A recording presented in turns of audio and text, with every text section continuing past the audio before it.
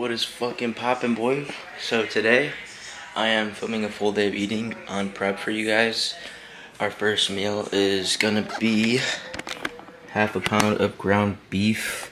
I gotta fucking get the oats.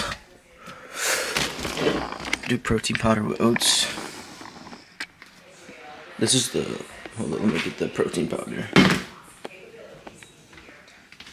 This is the protein powder I use. Actually, I have two. I have Cocoa Gains. This shit tastes so good with yogurt, bro. And then I have Cinnamon Swirl cereal, which actually has like pieces of like little cereal things in it and shit, which is like crazy because like when I'm chomping down on my oatmeal, I get like some cinnamon toast crunch pieces in there. I like it, but yeah.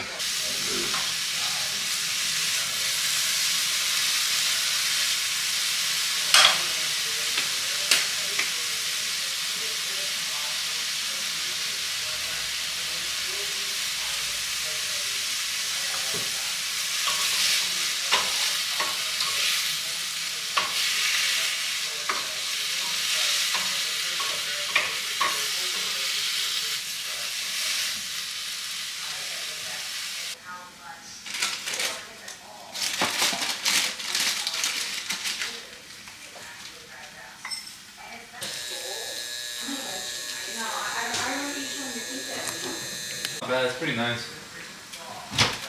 Look at her, she's just Hyperventilating.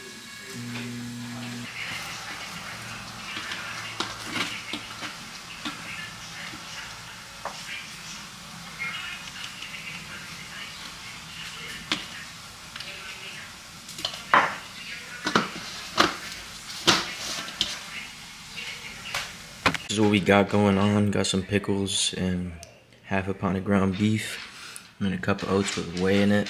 The pickles are just like extra sodium and a little bit of extra carbs just because like I don't want to eat fucking beef by itself. So like yeah. Pre-lift meal.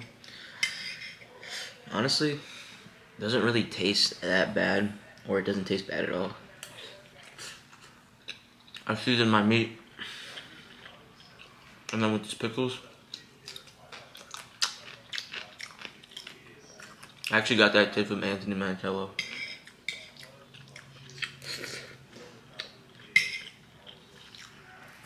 Eat my beef first. And then I get into my oats.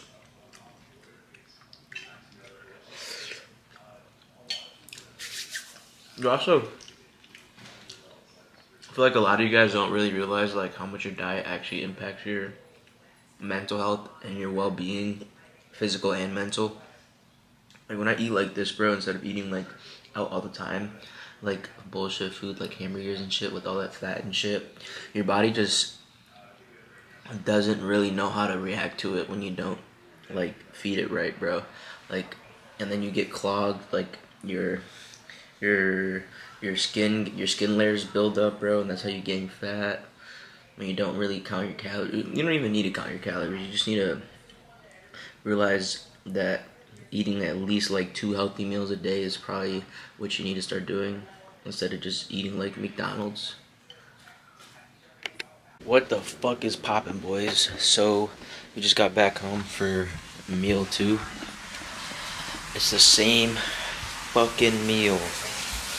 If you want to lose weight and fat at the same time, you gotta eat the same things every day. After this, my meals will change up for the day. I'm gonna change up to like probably salmon and sweet potatoes later for two more meals till I go to bed. So yeah, I'm gonna fucking whip this shit up and see you guys next meal.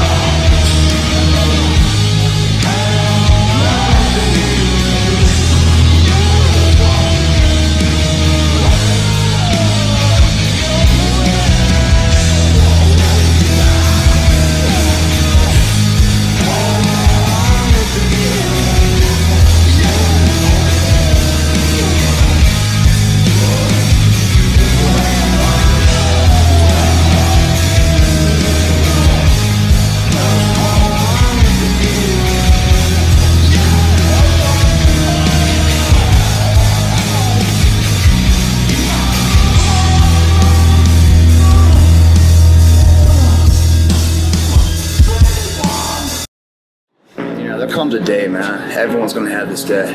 There comes a day where being average, being mediocre is just sickening to you. It's just sickening. It makes you want to throw up.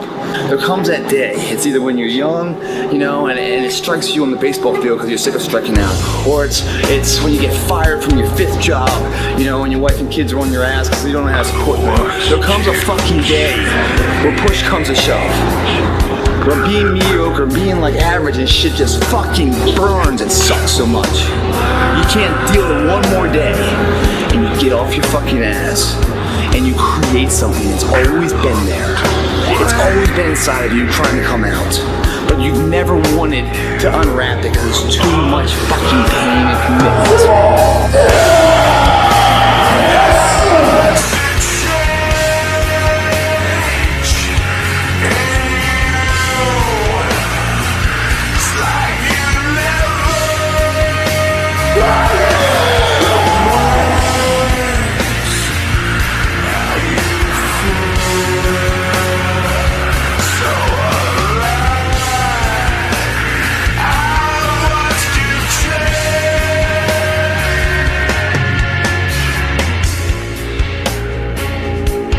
You were scared you were gonna fail. You were scared if you started, you never finish it. You didn't want to tell anyone about it. You knew it was there, but you never wanted to embark on it until something fucking hits. You get fired, or somebody else gets success, reminds you what you could have been, and then that fucking spark is born.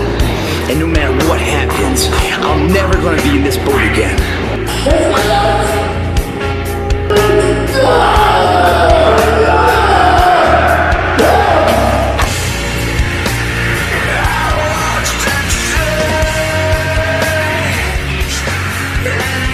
tore my chest. I snapped my tendon, tore my chest with 300 kilos bench press.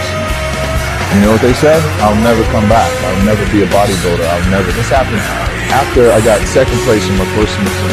You know what happened? I was the first bodybuilder in the universe that ever came back from this and won a show. I won 23 shows after that.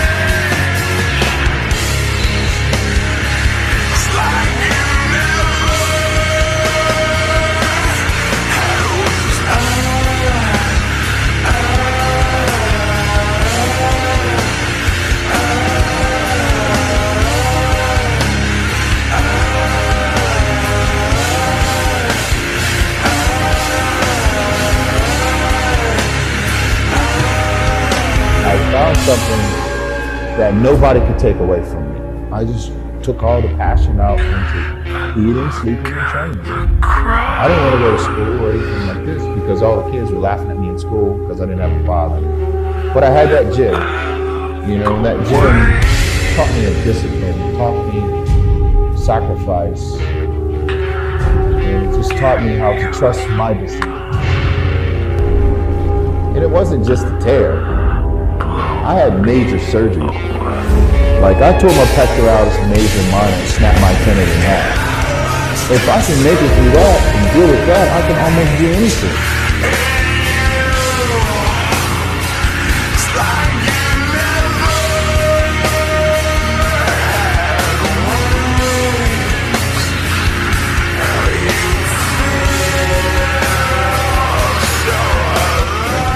I can tell people how I train, I can tell them what I eat and all these things. That's the boring part, you know? Anybody can train and eat, but what's driving you to do what you do in life? This is the most important thing. What drives you? Because what drives you will be an influence to someone else.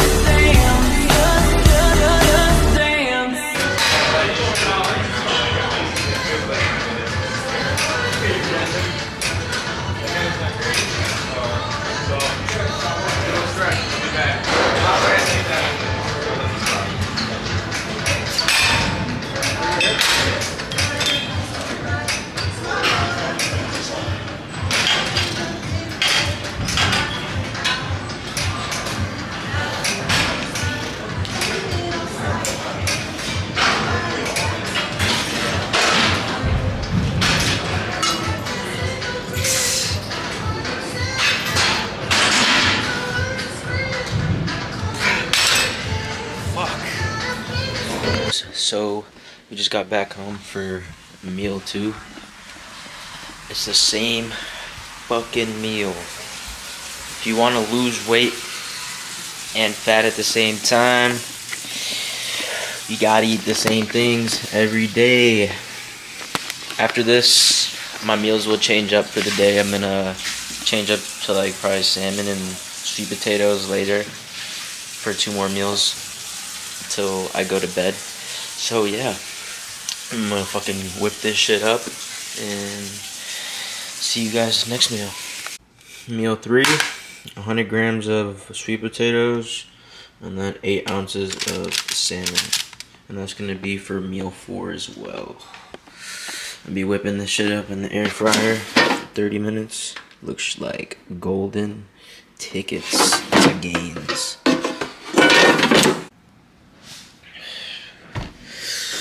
It's been a long ass day. Time to eat. It's um 8.30 right now. I'm having this meal right now and then I'll probably have the fourth meal around like 10.30 or 11 and then I'll go to bed. Shit, let me shake this shit up. Frank's Red Hot on fucking salmon is goat. Goated like a motherfucker.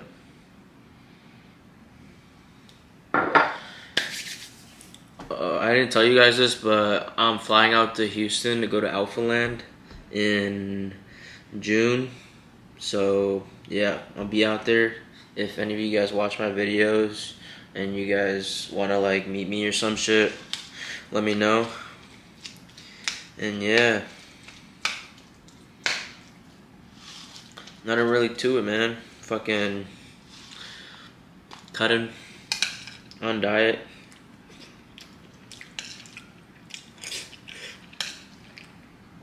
Fairly easy to stay on this type of diet because it's like going out to a restaurant, bro. I'd want fucking sweet potatoes and fucking salmon. It might look a lot prettier than this though, but fucking tastes the same.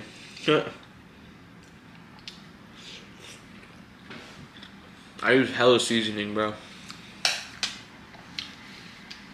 I love seasoning a lot. A lot.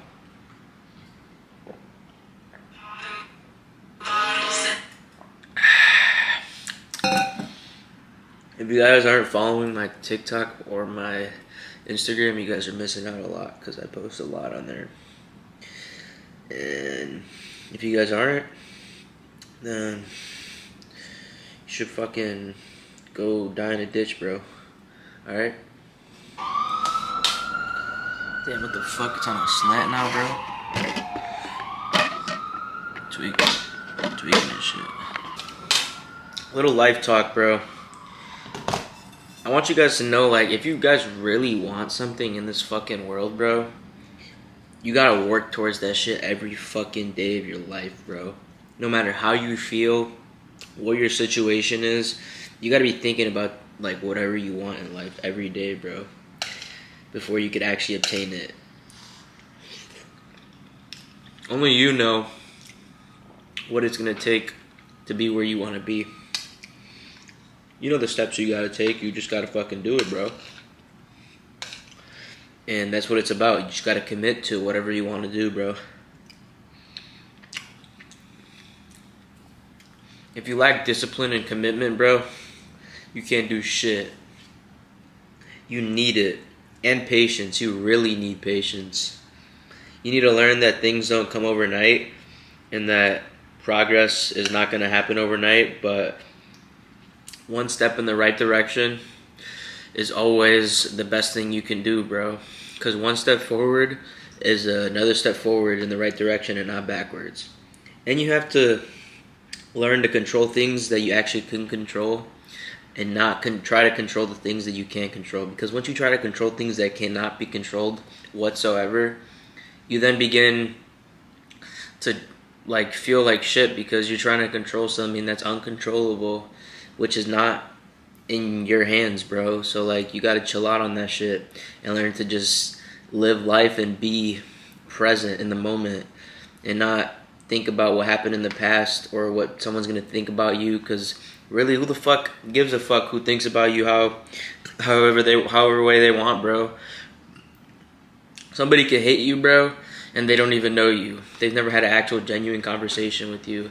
That's how most shit is nowadays just because that's how our generation is. But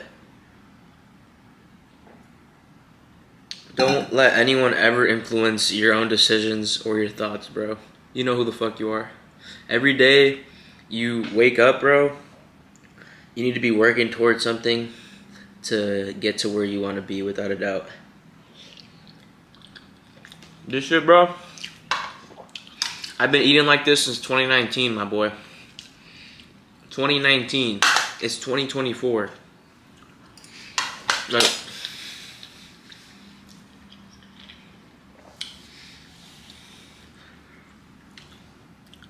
come on now gains.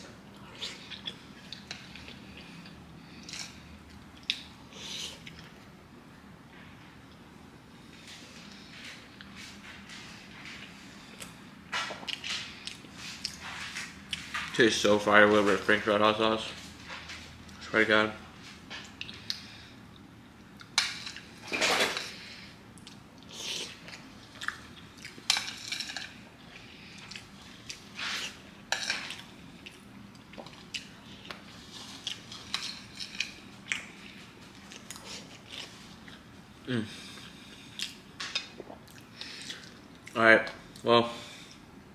Fucking finish this shit and then chill out for like two hours. Actually, it's the Canelo fight tonight, so I'm gonna watch that shit. So, hope y'all fucking have a fucking great time with your night and you guys enjoyed the video full day eating and you got some fucking context and how you should be eating every day. Stop being a fucking fat ass, bro. Alright, boys, eating the last meal for the day. It is 10:30 at night. I'm gonna eat this shit and fucking crash out and wake up and have a little rest day tomorrow, which I'm happy for because I don't really have to do that much cardio or anything. So yeah, hope y'all had a good fucking day today and got shit done. I'll see you guys in the next video.